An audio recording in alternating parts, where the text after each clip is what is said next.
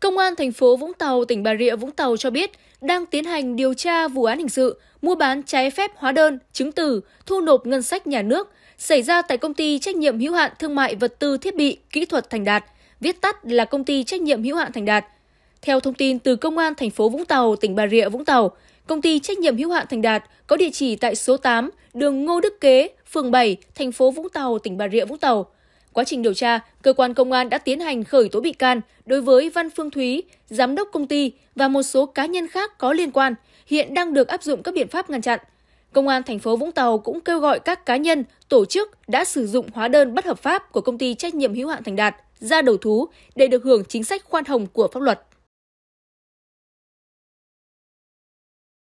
Ngày 14 tháng 6, Công an tỉnh Thái Bình cho biết, Cơ quan Cảnh sát điều tra Công an tỉnh Thái Bình đã tống đạt quyết định khởi tố bị can, thi hành lệnh bắt bị can để tạm giam đối với Phạm Thiên Tư, sinh năm 1961, trú tại xã Nam Bình, huyện Kiến Sương, nguyên là cán bộ địa chính xã Minh Quang, huyện Kiến Sương, và Trần Văn Thành, sinh năm 1983, trú tại xã Bắc Hải, huyện Tiền Hải, là chuyên viên phòng tài nguyên và môi trường huyện Kiến Sương về tội lợi dụng chức vụ quyền hạn trong khi thi hành công vụ, theo quy định tại khoản 2, điều 356 Bộ luật hình sự.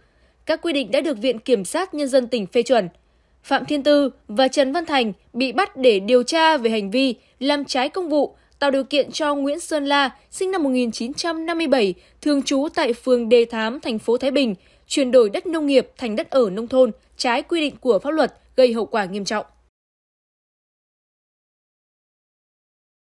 Chiều ngày 14 tháng 6, Công an thành phố Buôn Ma Thuột, tỉnh Đắk Lắk đã ra quyết định khởi tố bị can, lệnh bắt bị can để tạm giam 4 tháng đối với Đồng Hữu Long, 28 tuổi, chú xã Nam Rong, huyện Cư Rút, tỉnh Đắk Nông để điều tra về hành vi vi phạm quy định về tham gia giao thông đường bộ khiến hai người tử vong. Đồng Hữu Long bị khởi tố, bắt giam vì gây ra vụ tai nạn giao thông nghiêm trọng khiến bà Lê Thị Thanh Thảo, 39 tuổi và con gái 18 tuổi cùng chú xã Đắc Liêng, huyện Lắc, tỉnh Đắk lắc tử vong vào chiều ngày 12 tháng 6 trên đường Hồ Chí Minh, đoạn qua xã Hòa Phú, thành phố Buôn Ma Thuột, tỉnh Đắk Lắk.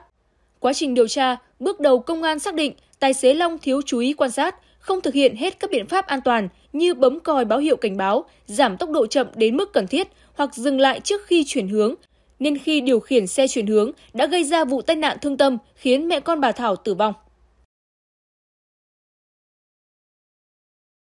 Sáng ngày 14 tháng 6, Tòa án Nhân dân tỉnh Kiên Giang mở phiên xét xử sơ thẩm vụ án hình sự và tuyên phạt bị cáo Tăng Hoàng Tỷ, sinh năm 1993, ngụ ấp Xẻo Lùng, xã Thạch Yên An, huyện U Minh Thượng, tỉnh Kiên Giang, 7 năm tù về tội giết người. Nạn nhân trong vụ án này là Tăng An Toàn, sinh năm 1986, là anh ruột của bị cáo đã tử vong.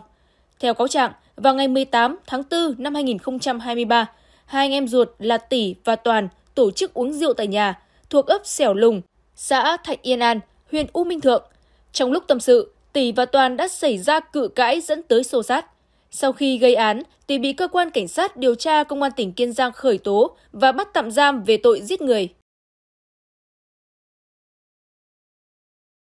Sáng ngày 14 tháng 6, Tòa án Nhân dân tỉnh Đồng Nai tuyên án đối với 12 bị cáo trong vụ án sai phạm tại Trung tâm đăng kiểm xe cơ giới 6005D.